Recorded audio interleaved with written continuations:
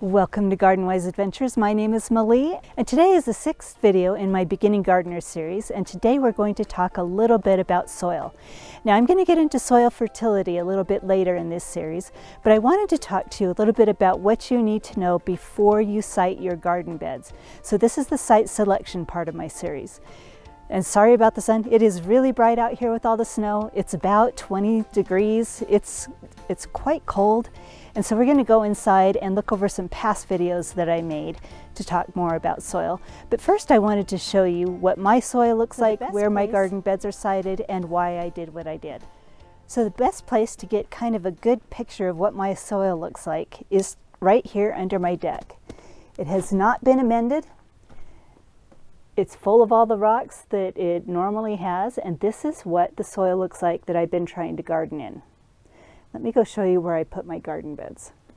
This is a nice little hill where I put my garden beds, and the soil under here is a little bit different than the soil under my deck because the previous owner decided to do a little bit of amending. What he did, you know, this was all grass when I first moved in, and what the first owner did is he brought in a load of sand I think he kind I think he may have ordered topsoil, I don't know. He must have ordered topsoil but got sand instead. And I'll show you a picture a little bit later of what the layers in my soil looks like and what it means to have layers. But because of all the rock and because of the problems in my soil that I'm going to go over in just a few minutes, I needed to think about how I was going to do my garden beds. In-ground garden beds on a slope are impossible because of the water drainage. And the rocks that were in the soil would make it impossible to dig. I actually have to use a pickaxe and a crowbar if I'm going to dig into my soil. So raised beds were the option for me. Now I'll show you a few pictures of the development of this part of my yard. This is what I count my food forest. It also used to be lawn and you know, there was a layer of sand over the top of the rocks and clay. So I decided to bring in different soils so I could plant in the ground down here. Now this is visual of my property off my deck.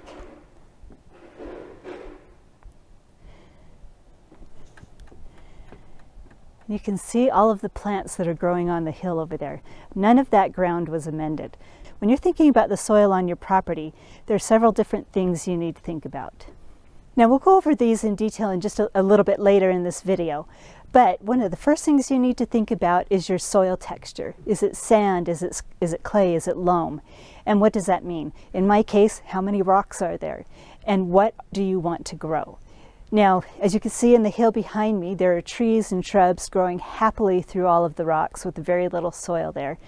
And there has to be some fertility because I never fertilize that area. So the trees and shrubs with their extensive root systems do really well. Vegetables would not. Vegetables and perennials would not do as well there. So that's texture.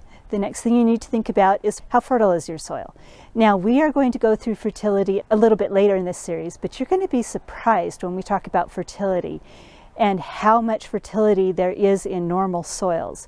We think about adding compost and manure and all this fertilizer and special magical substances that you know, supposedly make the soil more fertile. But we're going to learn a bit a little bit later in this series how that can sometimes be more harmful than good and that sometimes the soil that you have is better than any soil that you can create.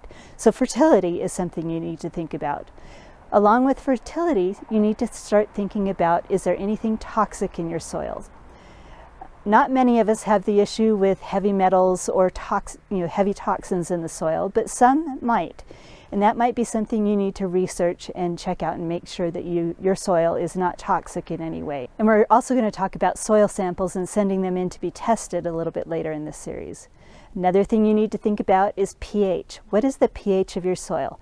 And what that means is you need to look at and see if it's more on the alkaline side, like we are here in Utah, we have limestone cliffs behind us and all of our water is alkaline because it runs through the limestone cliffs. Or is it acidic? You know, on the east coast, you have more organic soils, you know, soils that are more acidic, newer soils, soils that are not surrounded by limestone. So you need to know the pH of your soil because the pH of your soil will affect what can grow there. So as you can see, we have snow covering our soil and the soil is very much frozen and I'm not going to be able to do any digging right now. So what I did instead was dig through some of my old video footage. And I did some videos that had really good information when I first started making videos. The filming was poor, the editing was poor, but the information was good. So I went and pulled out some of those clips and we're gonna go over those and talk a little bit about soil texture and drainage. Drainage is one of the other things we need to look at. So let's look at some of my old footage and talk a little bit about soil and drainage and texture. Now in the first clip, I wanted to do an experiment on soil texture and I wanted to show you how to tell you what texture your soil is. Now I have some pretty distinct textures in my front yard. The bottom layer is clay, and the middle layer is sand, and then the top is compost. So I took some samples of each of those and wanted to show you kind of how to tell the difference. So the first one is sand. Now sand does not easily form a ball, although it looks like it's doing it right there. And it falls apart when you mess with it with your fingers. So that's how you tell what sand is. Now clay is a little bit different. It easily forms a ball in your hand when it's wet. And when you squeeze it, it will form ribbons through your fingers. Now this one is not pure clay, but there's enough clay in there that you're getting the ribbon look but it does fall apart a little bit more because of some of the sand and loam that is mixed in with it.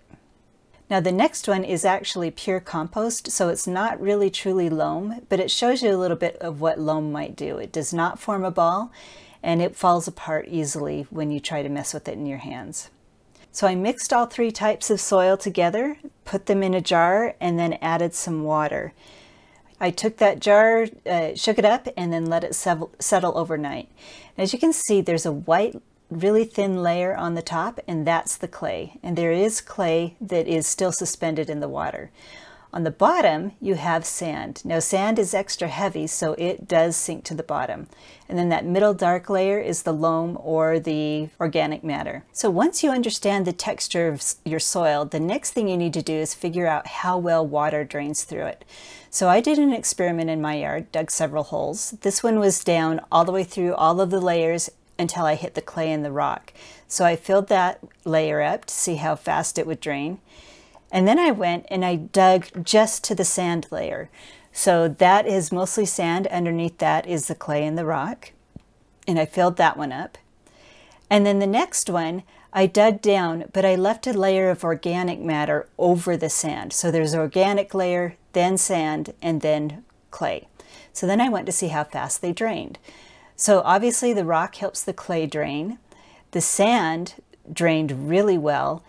And then this one with the organic layer over the sand did not drain at all. So all of these drained for the same amount of time. Now to understand why this happens, why this last one didn't drain as fast as the others, I decided to do another experiment. In this experiment, I decided to take four beakers and they filled them with different types of soil. So one is pure sand, one is the pure organic matter, one is pure clay, then one has clay on the bottom, sand right in the middle, and then organic matter over the top. Then I added water and waited to see how fast the water percolated. Now the sand went all the way to the bottom really quickly. This experiment took about five minutes. So you can see that's wet. And the organic matter also went all the way to the bottom.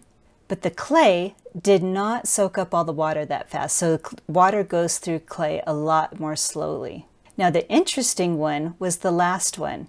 On the last one, we have what's called a perched water table.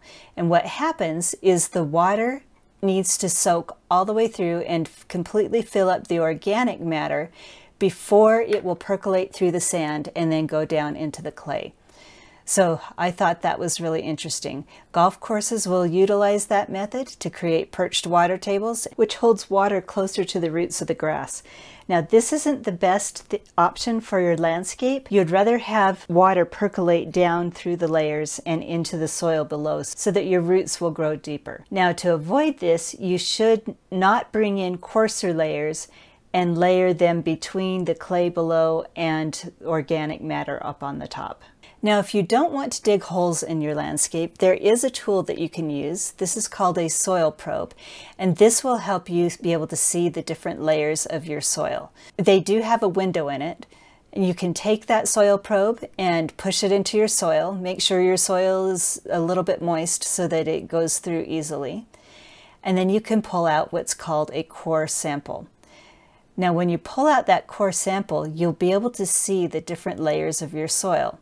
So as you can see here, we have that sand layer at the bottom, and then we have where the roots on my grass have penetrated to.